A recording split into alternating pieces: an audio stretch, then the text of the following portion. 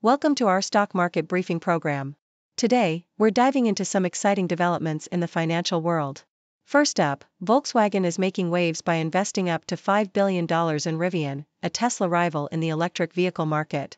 This strategic move aims to boost technology sharing and solidify their presence in the rapidly growing EV sector. Rivian's shares skyrocketed by 50% following the announcement, showing just how much investors believe in this partnership's potential. Stay tuned as we explore what this means for both companies and the broader market. Next, we have a fascinating story from Japan where tradition meets modern naval life. The Japanese Maritime Self Defense Force continues to serve curry every Friday, a practice dating back to the 19th century. Originally introduced by Anglo Indian officers to combat nutritional deficiencies, this hearty meal has become a beloved staple among sailors.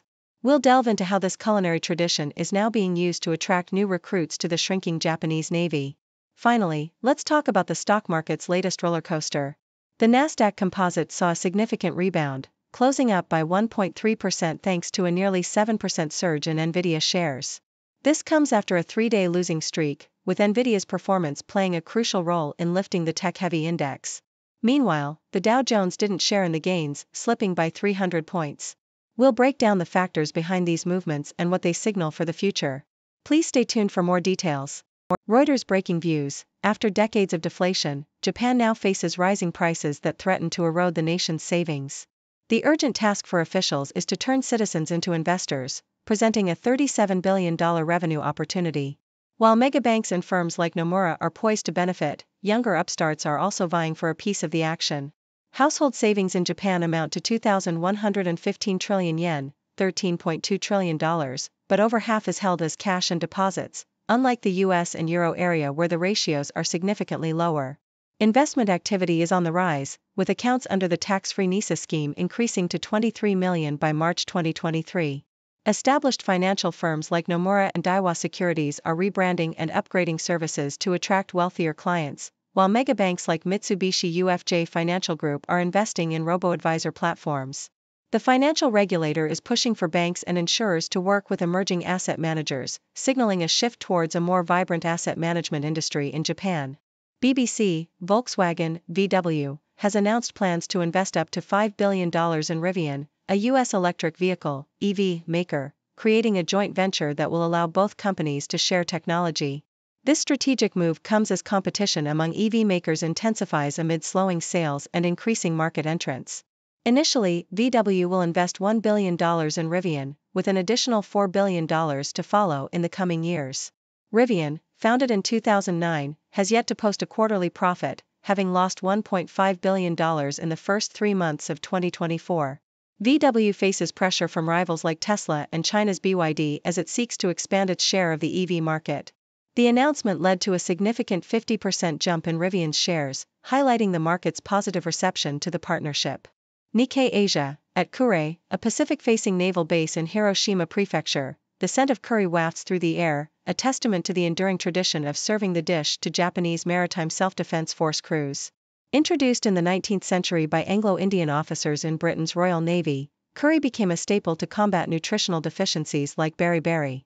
The tradition continues, with Fridays dedicated to curry meals. Kure's naval history is rich, from its post World War II ruins described in Shirley Hazzard's The Great Fire, to its modern, bustling port filled with deployable vessels. The town has also embraced naval themed tourism, with attractions like the Yamato Museum and recruitment campaigns featuring manga and anime imagery. However, Japan's navy faces a recruitment challenge, exacerbated by fears of combat and constitutional debates. The West Japan Railway train approaching Kure plays the theme song from Space Battleship Yamato, blending patriotism with popular culture in a bid to attract new recruits. The campaign aims to reassure the public of the armed forces' capabilities, but more than curry and cultural imagery will be needed to bolster recruitment numbers.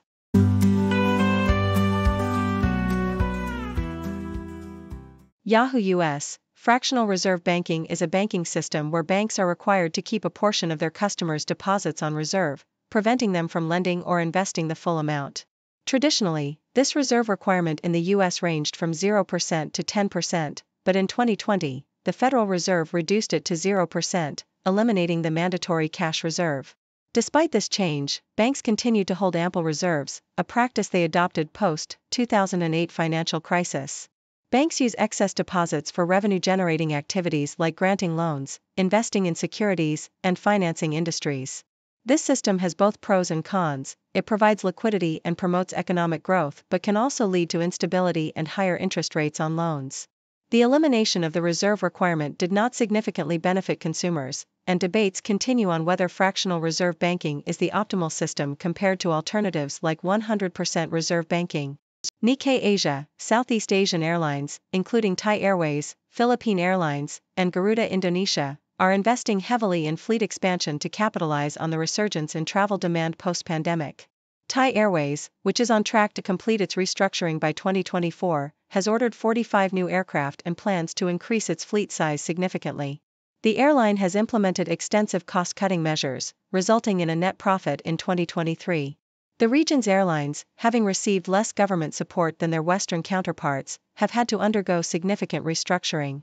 The International Air Transport Association forecasts a 17% increase in passenger demand for the Asia Pacific region in 2024, the highest globally. However, challenges such as a labor shortage, particularly pilots, and concerns over potential overinvestment remain. While some airlines like Singapore Airlines have thrived, others, like Vietnam Airlines, continue to struggle against low cost competitors and rising operational costs.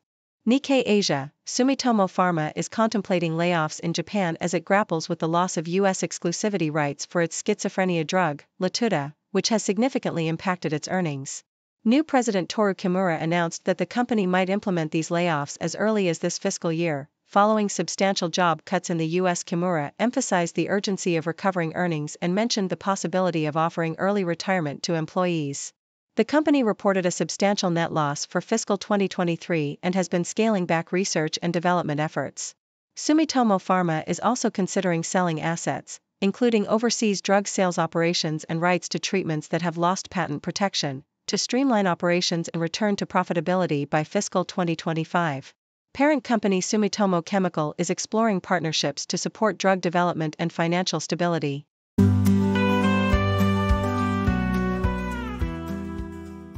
Yahoo US, the US stock market experienced a mixed close on Tuesday, with Nvidia's NVDA nearly 7% surge fueling a rally in the tech-heavy Nasdaq Composite, which ended the day up by about 1.3%. The S&P 500 also saw a modest rise of 0.4%, breaking a 3-day losing streak. However, the Dow Jones Industrial Average fell by 0.8%, losing around 300 points. This divergence came as investors took profits from AI-linked stocks, questioning if recent losses would continue. Economic data showed home prices hitting a new record high in April, although annual growth slowed, and consumer confidence dipped slightly, with the index coming in at 100 for June, below May's 101.3. Nikkei Asia, Japan is pioneering the use of hydrogen as an energy source, accounting for 24% of global hydrogen related patent applications between 2011 and 2020. The country's basic hydrogen strategy, first formulated in 2017, aims to achieve carbon neutrality by 2050 and includes plans to deploy 15 gigawatts of electrolyzers globally and increase domestic hydrogen usage to 12 million metric tons annually by 2040. Significant milestones include a 2 trillion yen green innovation fund, with 800 billion yen allocated for hydrogen technologies. Japan is also working on international hydrogen supply chains and has led global agreements on developing transparent markets and standards for hydrogen production. The Sydney Morning Herald, a rebound in Nvidia's stock helped keep US indexes near record levels on Tuesday, with the S&P 500 rising 0.3% and the Nasdaq Composite jumping 1.1%. However, the Dow Jones lagged, falling 0.7%. Nvidia's 5.4% rise broke a 3-day losing streak, driven by strong demand for its AI chips. Despite concerns about a potential market bubble, the focus is shifting from inflation to growth. The bond market saw steady treasury yields, with the 10 year yield edging up to 4.24%. Meanwhile, the Australian share market is set to drop, with futures indicating a 0.4% fall at the open.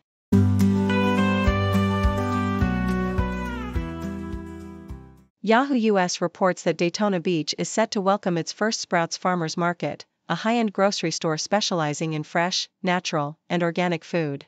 The store will be part of the shops at Williamson Crossing, with construction expected to start in December 2024 or January 2025. The new store will occupy a 23,240 square foot space at 1591 North Williamson Boulevard and is part of a $20 million development project by NGI Investments. The project also includes a 15,000 square foot multi tenant retail building. Sprouts, which has 414 stores across 23 states, aims to offer a unique grocery experience with an open layout and a focus on wellness. The Daytona Beach location will be the first in Volusia County, marking a significant expansion for the chain. Reuters Breakingviews highlights GameStop's transformation into what resembles a poorly run bank, leveraging a $4 billion cash reserve accrued during the meme stock frenzy. Despite a declining core business, the company has managed to narrow operating losses partly due to interest earnings on its substantial cash hoard. GameStop's market value surged from $180 million in 2020 to around $8 billion, thanks to strategic equity offerings. However, the company's reliance on cash reserves and interest earnings to sustain operations raises questions about its long term viability. Investors might be better off with traditional savings accounts, as GameStop's current strategy seems more focused on financial maneuvering than business innovation.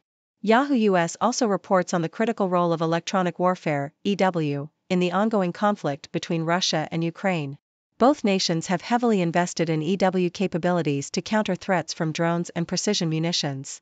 Mikhailo Fedorov, Ukraine's Minister of Digital Transformation, emphasized the need for close range EW tools in every trench to protect frontline forces. Ukraine has been scaling domestic production of these systems, with 2,000 units purchased in the spring through the United 24 initiative. The fast paced technological war has led to rapid development and adaptation of EW systems. The U.S. is closely monitoring these advancements, with the Pentagon studying the conflict to draw lessons for future engagements against major adversaries like Russia or China.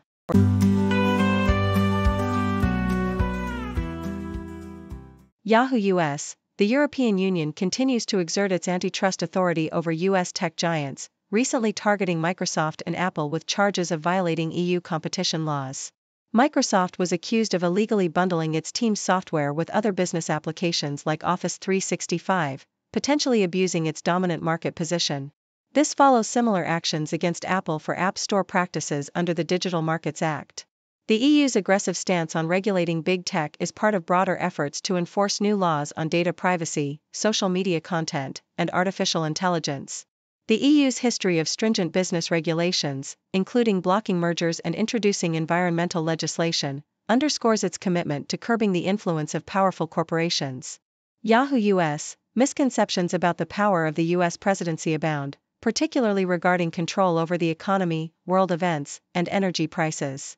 Voters often attribute economic conditions directly to the president, but factors like fiscal stimulus, consumer behavior, and global market dynamics play significant roles. For instance, the job growth under President Biden is more a result of pandemic era stimulus and a favorable business environment than direct presidential action. Similarly, international conflicts and energy prices are influenced by complex global factors beyond the president's control. The Federal Reserve, rather than the president, has a more direct impact on economic conditions through its monetary policies. CNN, Federal Reserve officials are signaling that interest rate cuts are unlikely this year, with some even suggesting the possibility of further rate hikes if inflation persists.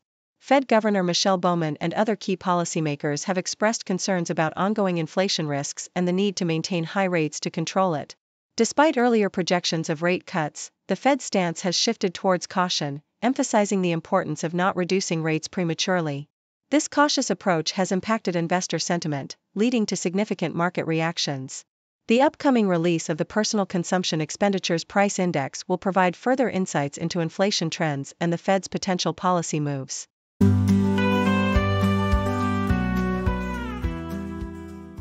Thank you for tuning in. The content above showcases the latest briefing reports and analytical synopses, thoughtfully curated by the 6Do team. These insights stem from a wide array of reputable media outlets, think tanks, government sources, and specialized experts worldwide. We encourage you to explore these sources for a comprehensive perspective. Keep in mind that while the content may not always align with the official standpoint of 6Do Brief, it's not meant to be taken as absolute directives for decision making. Comprising seasoned media professionals, learned scholars, and accomplished scientists, the 6Do team embodies a trailblazing, fully independent media entity. To customize 6Do Brief to meet your professional needs, you have the option to subscribe to a diverse array of briefings on our website, 6dobrief.com. Regardless of your location, you can conveniently receive 6Do Brief via email.